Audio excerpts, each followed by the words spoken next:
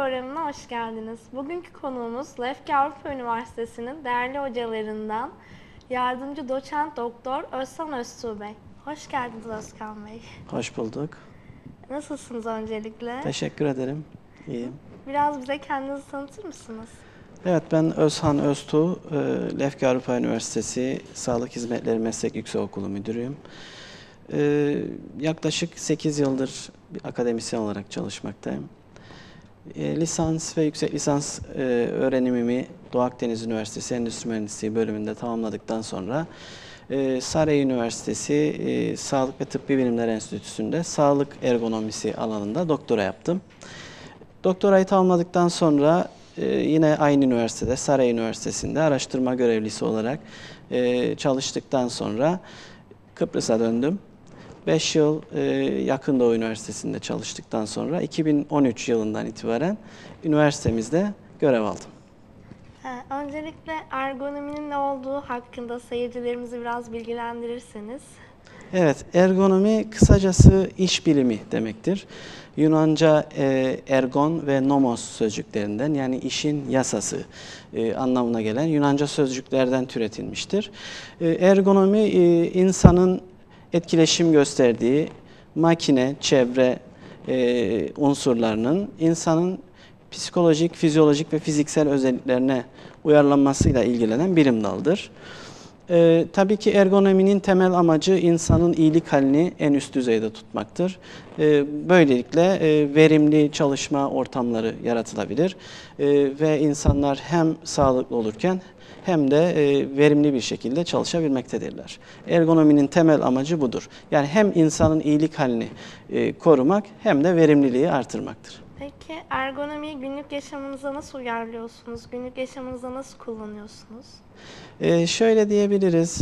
Tabii ki ergonomi benim e, yaşamımın bir parçası. E, etrafımızda e, etkileşim gösterdiğimiz, e, günlük aktiviteler yaptığımız durumlarda ergonomi prensip ve ilkelerinden e, tabii ki yararlanıyoruz. Yine e, herhangi bir ürün satın alırken bu ürünün e, den maksimum faydayı sağ- sağlayabilmek için kullanışlı, kullanılabilir olmasına dikkat ediyorum. E, tabii ki hayatımızın vazgeçilmez bir parçasıdır ergonomi. E, bu ilkeleri bildikten sonra e, bunları e, uygulamamak tabii ki elde değil. E, bunun dışında tabii ki e, etrafımızdaki insanlarla da etkileşim içinde olurken ergonominin bir e, diğer e, dalı da yönetsel ergonomidir. Bu ilke ve prensipleri de iş hayatında kullanmaya özen gösteriyorum. Peki ülkemizde ergonomi alanında yapılan çalışmalar var mı? E, maalesef ülkemizde ergonomi alanında yapılan çalışmalar çok sınırlıdır. Çünkü ergonomi bilim dalıyla e, uğraşan akademisyen arkadaşlarımız e, e, çok az sayıdadır diyebilirim. E, yani yapılan çalışmalar vardır ancak bu çalışmalar e, yeterli sayıya ulaşmış değildir. Çünkü ülkemizde maalesef ergonomik er- ergonomiye e, ergonomiyle ilgili farkındalık henüz iste- istenilen düzeyde değildir. E, Daha çok akademisyenleri bu alanda araştırmaya e, araştırma yapmaları için davet etmemiz gerekiyor. Onları onları da motive etmemiz gerekiyor. Böylelikle araştırmalar yaygınlaştıkça öyle ümit ediyorum ki ülkemizde ergonomi bilinci de gelişecektir. Aynı zamanda Sağlık Hizmetleri Meslek Yüksekokulu'nda müdürlüğünü yapıyorsunuz. Birçok da öğrenciniz var. Bu alanı öğrencilerin üzerinde nasıl uyguluyorsunuz? Şöyle söyleyebilirim. Ergonominin ilkelerinden bir tanesi de e, tabii ki yani insanı e, her zaman e, sistemin merkezine koymaktır. E, bu ilkeleri uygularken örneğin e, öğrencilerimiz bana projeleriyle geldikleri zaman e, onların sorumluluk alıp bu projeleri yerine getirmelerini isterim. Yani onları oluşumun merkezine merkezinde düşünüp e, ben sadece yol gösterici ve e, motive edici olarak görev yaparım. E, bu yönüyle bakabiliriz diyebilirim. Peki öğrencileriniz sizce idealleri doğrultusunda ilerleyen, prensip sahibi ve ne istediğini bilen biraz da araştırmacı kimliğe sahipler mi? E, tabii ki bizim görevlerimizden bir tanesi de bunu e, sağlamaktır. Yani öğrenciler buraya sadece gelip teorik eğitim alıp e, gitmiyorlar. Bi- Biz öyle bakmıyoruz en azından olaya. Öğrenciler üniversitelere gelirken e, kendilerini her alanda yetiştirmeleri beklenir. Tabii ki bizim de buna katkı yapmamız gerekiyor. Biz e, öğrencilerimizin e, gelişimlerinde yaşam boyu öğrenme felsefesini edinmelerini isteriz. Onların bize e, kendilerini geliştiren e, ve geliştirecek projelerle gelmelerini isteriz ve bunu her zaman destekleriz. E, Ben çok mutlu oluyorum eğer öğrencilerim işte hocam biz e, şöyle bir fikrimiz var bunu uygulamak istiyoruz diye geldikleri zaman çok mutlu oluyorum.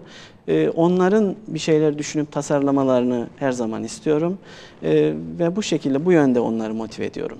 Bir nevi yön gösterici, yol gösterici bir kimliğiniz de var öğrencilerinizin üzerinde. Tabii ki. Peki multidisipliner bir alan aslında ergonomi. Evet. Sizi bu alana iten unsur neydi? Evet, şimdi biz e, ergonomi e, şu an itibariyle baktığımızda e, çok fazla uygulaması olmayan, yani gerek Türkiye'de gerekse Kıbrıs'ta, belki Türkiye bizden daha iyi durumdadır diyebiliriz. Yani Türkiye'de şu an baktığımızda 20 yıldır gerçekleştirilen ergonomi kongresi var.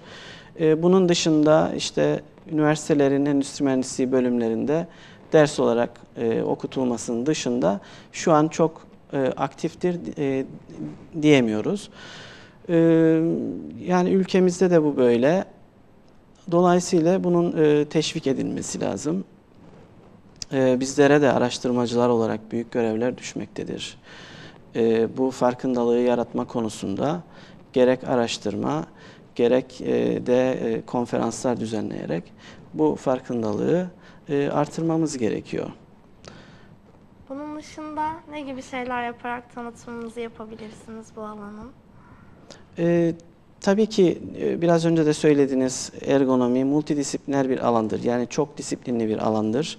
E, ergonomiyle her alandan, gerek psikolojiden, gerek tıptan, e, diğer mühendislik bilimlerinden, diğer alanlardan e, araştırmacılar bu disiplini uygulayabilirler kendi alanlarında. E, fizyoterapistler yine. E, tabii ki bu bağlamda düşünmek lazım. E, çok geniş kitleleri bu e, oluşumun içine e, çekebiliriz. Biraz önce de söylediğim gibi e, konferanslar, sempozyumlar, paneller bunlar çok önemlidir e, farkındalığı e, artırmak adına ve biz akademisyenlere büyük görevler düşmektedir bu noktada. Haklısınız. Şimdi sizin bir diğer ilgi alanınız olan bilgisayara geçmek istiyorum. Günümüzün de bildiğiniz üzere büyük bir sorunu bilgisayar ve internet bağımlılığı. Siz bu konu hakkında neler düşünüyorsunuz? Evet, şimdi bilgisayar aslında e, ya teknoloji geliştikçe yeni ürünler, e, yeni nimetlerle bize geldiği gibi diğer taraftan da bunların bir takım e, sağlık e, sonuçları da beraberinde geliyor. Bunları da hesaba katmamız lazım. E, tabii ki e, çok yaygınlaştı. Bilgisayar girmeyen ev kalmadı diyebiliriz. Artık her evde bilgisayar ve e, internet bağlantısı var. E, görüyoruz yani gözlemlediğimiz kadarıyla ve e, yapılan araştırmalardan da gördüğümüz kadarıyla bilgis e, bilgisayar ve internet e, bağımlılığında bir e, artış olduğunu söyleyebiliriz. Bu noktada tabii ki e, ailelerin gerek ailelerin gerekse e, e, akademisyenlerin e, yardımcı olarak yani aileleri de uyararak veya eğiterek e, önlem alınmasında e, rol oynamamız gerekiyor. Elbette. Siz bunu biraz böyle tehdit olarak da algılıyor musunuz? Sonuçta bilgisayarın vermiş olduğu bir radyasyon, fiziksel olarak bize vermiş olduğu bir takım sıkıntılar var. Hani hepimiz dergilerden, makalelerden artık okuyoruz. Evet. E, risk olarak algılıyoruz. E, sonuçta e, yapılan çalışmalar var. E, bunun neticesinde e, tabii ki bu ürünleri kullanırken kullanım kılavuzları da var. Her ne kadar bu kullanım kılavuzlarını okumasak da o kullanım ku- kılavuzlarında aslında önemli bilgiler var. E, laptop veya bilgisayar kullanımında da e, bir takım e, zararlar var ki- bunlar da bu kılavuzlar içerisinde belirtilmiştir aslında. E, tabii ki e, nasıl e, telefonlar, cep telefonları biliyorsunuz onların da kullanımı e, bir takım zararları beraberinde getirebildiği gibi e, laptop ve bilgisayarların da kullanımının bir takım zararları vardır. E, tabii ki laptop dediğimizde hemen diz üstünde kullanılan bilgisayar olarak aklımıza gelir. E, laptoplar tabii ki e, bir manyetik alan oluşturuyor ve bu manyetik alanın da kullanıcı üzerinde etkileri olabiliyor. Ee, önerilen şudur, e, laptoplar dizüstü kullanılmamalı. E, mümkünse bunlar bir platform üzerinde klavyeye bağla, bağlayarak kullanmamız gerekiyor. E, diz üstünde kullanılmaları e, bir takım riskleri de beraberinde getiriyor. E, gere, gerek üreme sağlığı e, olsun, e, gerek diğer e, sağlık problemleri olsun. Bunları beraberinde getirebiliyor. Dolayısıyla bunların kullanımında mümkün mertebe e, bilgisayarla çok yakın temas içerisinde olmamamız gerekiyor. Örneğin e, cep telefonlarını kullanırken önerilen mesela e, marka ismi vermiş olacağım ama e, iPhone'un e, kullanma kılavuzunda e, telefonun yaklaşık e, insanın e, kulağından e, 5 veya 8 inç uzaklıkta e, olması lazım en az diye bu kılavuz içerisinde belirtilmiş. E, dediğim gibi laptoplarda e, desktoplara göre, desktop bilgisayarlara göre daha zararlı, daha zarar verme potansiyeli olan e, cihazlardır. Bunları kullanırken e, mümkün mertebe e, bedenimizden uzak e, olacak şekilde kullanmamız gerekiyor. E, yine e, pille çalıştığı esnada kullanmamız daha e, riski azaltır. E, yani güç kaynağına bağlıyken kullanılması daha çok zararlıdır. E, dediğim gibi bilgisayarın mümkün mertebe vücuttan uzak bir platform üzerinde ve bir klavyeye bağlanarak laptoplar için söylüyorum kullanılması e, daha e, riski azaltacaktır. Peki bu kullanımlardan Kuzey Kıbrıs Türk Cumhuriyeti ve e, Türkiye ile kıyasladığımız zaman sizce hangisi daha bağımlı?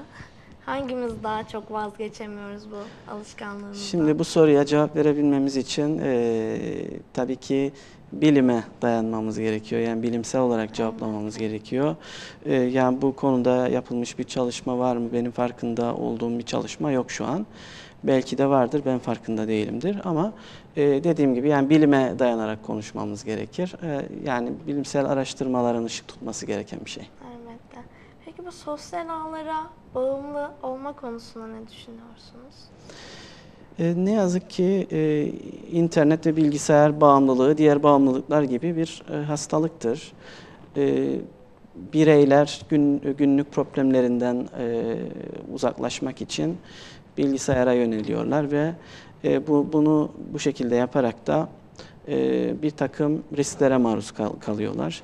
Birincisi sosyal etkileşim e, ortadan kalkmış oluyor. E, birey kendini bilgisayar kullanımına e, ad- e, bilgisayar kullanımına e, yönlendirdiği zaman e, orada saatlerini harcıyor. E, hareketsizlik beraberinde geliyor. Yine e, sağlıksız beslenme bununla birlikte geliyor. Bu e, bilgisayar ve internet bağımlılarında olan Biraz da obez olmamızın nedenini buna bağlayabilir Aynen e, sağlıksız ve e, düzensiz beslenme beraberinde geliyor. E, bunun yanında yine kas iskelet sistemi rahatsızlıkları da hareketsizliğe bağlı olarak e, sürekli bilgisayar başında uygun olmayan postürle e, oturmaktan dolayı e, kas iskelet sistemi rahatsızlıkları, gözlerde bozukluk, baş ağrısı ve benzer e, durumlar da ortaya çıkabilmektedir. Anlıyoruz. O zaman hani mümkün olduğunca az kullanmaları gerekiyor. Evet yani bu noktada aslında ailelere de büyük görevler düşüyor. Yani çocuklarımızın e, bilgisayar kullanımını denetlemeliyiz e, ebeveynler olarak ve e, onların tabii ki bilgisayar kullanılacaktır ancak bu bilgisayarlar kullanılırken sınırlı e, saatlerde e, kullanılmasına özen gösterilmeli. E, ve çocukları daha çok sosyal olacakları, diğer e, akranlarıyla bir araya gelip e, ortak bir şeyler yapabilecekleri etkinliklere yönlendirmeleri gerekiyor. Yani bilgisayar bağımlılığıyla ergonomiyi birleştirip bir proje yapmayı düşünüyor musunuz? Motivasyon adına. Ee, belki güzel bir e, proje olabilir tabii ki. Aslında şöyle e, e, ergonomi ile ilgili e, bazı bilgisayar programları var. E, bilgisayar kullanımı esnasında e, kullanıcıyı uyarıyor. E, işte artık çok fazla e, saat oldu, biraz ara ver diye. E, bilgisayar kullanımında dikkat edilmesi gereken unsurlardan bir tanesi de verilen aralardır. Yaklaşık yani her 30 dakikada bir mikro break dediğimiz yani kısa ara, aralar verip biraz hareket etmek lazım. E, bu yapılabilir. Bunun yanında e, yine bilgisayar iş istasyonu diyelim veya bilgisayar istasyonunu oluştururken e, bazı şeylere dikkat etmemiz gerekiyor. Mesela bilgisayarımızın ekranının e, hangi yükseklikte olduğu ki bunun e, göz hizasından yukarıda veya çok aşağıda olmaması gerekiyor. Ekranın yine e, uzaklığı önemli. E, elimizi uzattığımız zaman şu şekilde ekrana otururken e, parmaklarımızın ucu ekrana değecek kadar uzaklıkta olmamız gerekiyor.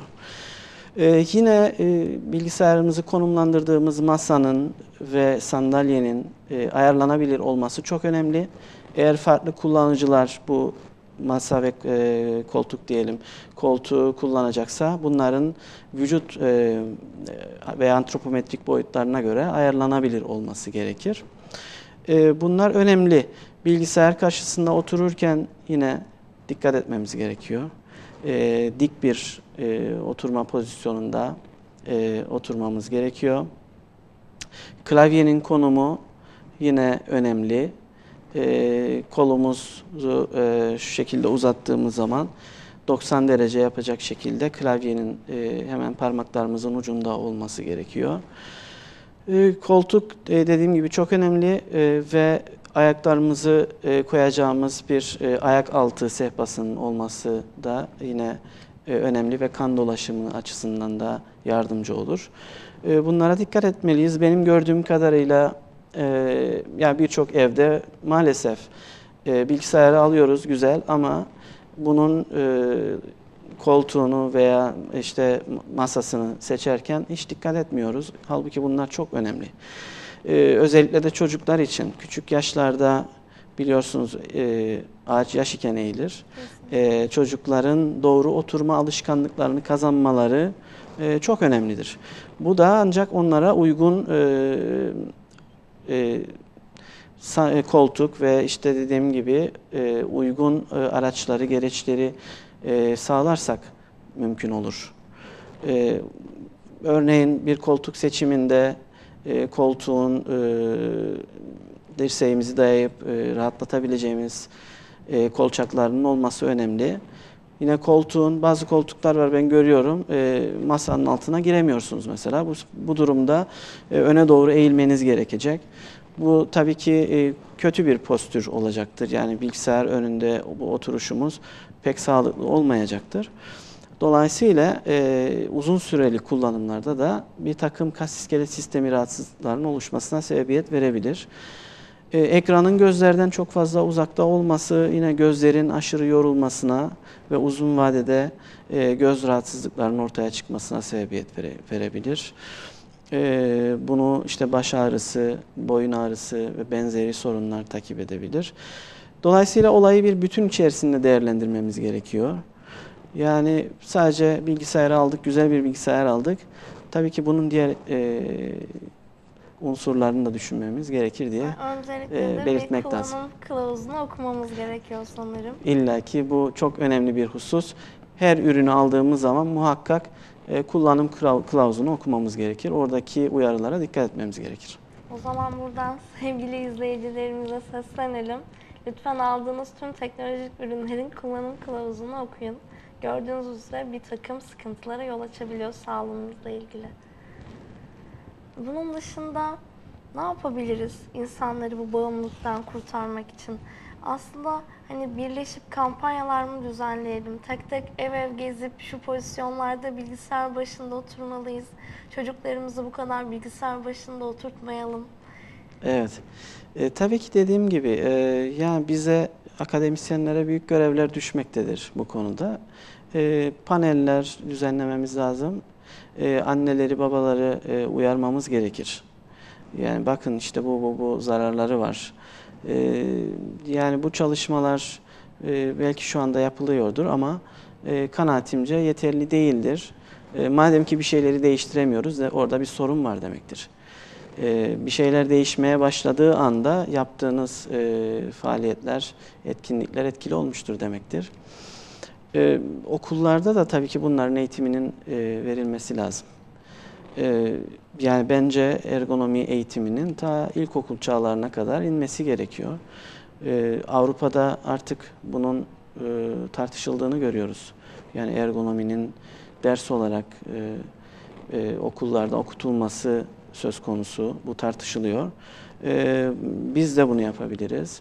Sonuçta çocuklarımızın birer sağlıklı yetişkin e, olmalarını sağlayabilmemiz için e, ileride onların sağlıklı birer birey olmalarını sağlayabilmemiz için bunları yapmamız gerekiyor. Her şeyin başı eğitimdir diyorum ben. E, yani bunları e, ta çocukluk çağlarından e, tabii ki bu ilke ve prensiplere, ergonomik ilke ve prensiplere okul ortamlarında da dikkat ederek e, kazandırabiliriz diye düşünüyorum. Peki üniversitemizde seçmeli ders olarak yer vermeyi düşünüyorlar mı ya da düşünüyor musunuz? Böyle bir öneriniz var mı? Aslında var. e, yüksek lisans düzeyinde e, bu yıl hemşirelik kısmetse e, yüksek lisans e, programı başlıyor. Orada seçmeli bir ders olarak e, ergonomi dersi, e, hastane ergonomisi, e, hastanelerdeki ergonomik unsurlara dikkat çekeceğimiz bir ders var.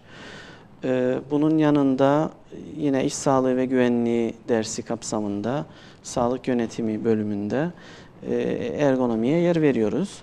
E, Tabii ki daha fazla dersler açabilirsek daha çok farkındalık yaratabileceğiz diye düşünüyorum. Aslında toplum açısından pek bilinmeyen bir alan olsa da hani gündelik hayatta sık sık kullandığımız bir alanmış. Sayenizde bunu görmüş olduk. Peki siz gündelik hayatınızda, evinizde, kişisel yaşantınızda bu ergonominin size ne gibi katkıları oldu? E, şöyle söyleyebilirim ya en basitinden bir yük taşınacağı zaman bile onun bir taşıma, biyomekanik taşıma prensipleri vardır. Yani bir ağırlığı kaldırırken bile bunun bundan zarar görmemeniz için nasıl e, pozisyon alacağınız, o ağırlığı nasıl kaldıracağınız önemlidir. Ya ben etrafımda gözlemliyorum. Mesela bir ağır bir şey kaldırılacağı zaman hemen böyle e, öne doğru eğilip belden kuvvet alarak kaldırmaya çalışır insanlar ki bu çok yanlış bir şeydir. E, ya bu ilkeleri bildiğiniz zaman kendinizi maksimum düzeyde korursunuz. E, ben yine e, evimde de uyguluyorum yani ergonomik e, en basitinden mutfağın tezgahını ayarlarken onu eşimin e, ölçülerine göre yaptırdım ki e, daha kullanışlı olsun. Dolapların açılış şekli, e, mobilyaların tasarımı, mobilya seçerken bile kullanışlılığına dikkat ediyoruz mesela. E, yani bu bağlamda ergonomi günlük hayatımızın içinde aslında. Ne mutlu ki hani siz tezgahınızı bile hani eşinize oranlayıp ayarlayabiliyorsunuz.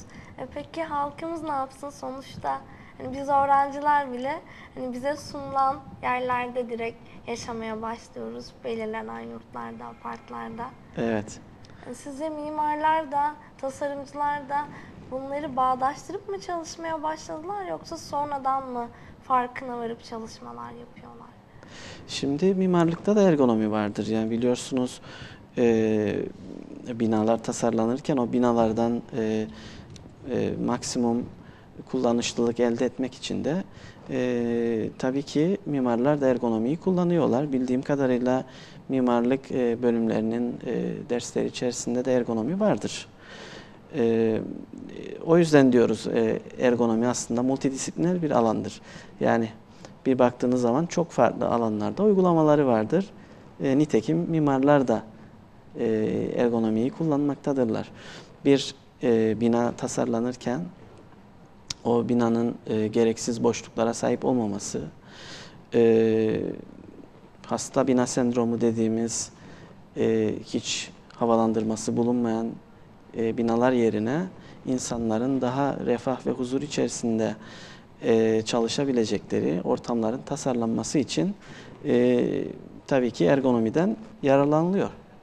Elbette. Teşekkür ediyoruz bu bilgileriniz için. Peki ergonomi ve bilgisayar ya da kas iskelet sistemi dışında neler üzerine çalışmalar yaptınız? E, benim aslında çalışma alanım dediğim gibi e, iş ortamlarıdır. E, benim amacım veya e, ilgi duyduğum çalışma alanı e, insanların e, iş ortamlarında çalışırken e, zarar görebilecekleri veya sağlıklarının etkilenebileceği e, unsurların belirlenip bunların geliştirilmesidir. E, tabii ki iş ortamlarında da biliyorsunuz meslek hastalıkları oluşuyor. E, işin insana göre e, uyarlanması çok önem taşımaktadır. Bir bakıyorsunuz e, yani meslek hastalıkları günümüzde çok önemli bir yere sahip e, ve çok da e, hem işverenler açısından hem ülkeler açısından da çok büyük maliyeti olan sorunlardır diyebiliriz. Benim de ilgi alanım iş ortamlarının insan özelliklerine göre tasarlanması, insanın iş ortamındaki iyilik halinin artırılması ve verimliliğinin artırılması. Yine ilgi duyduğum alanlardan bir tanesi hastane ergonomisi. Hastane ortamlarının e, yine hem hastalar açısından hem de çalışanlar açısından sağlıklı ortamlar olması e, konusu yine ilgilendiğim konular arasındadır. E, bugün tasarım çok önemli bir şeydir. E, insanlar sistemin, sistemlerin birer parçasıdırlar.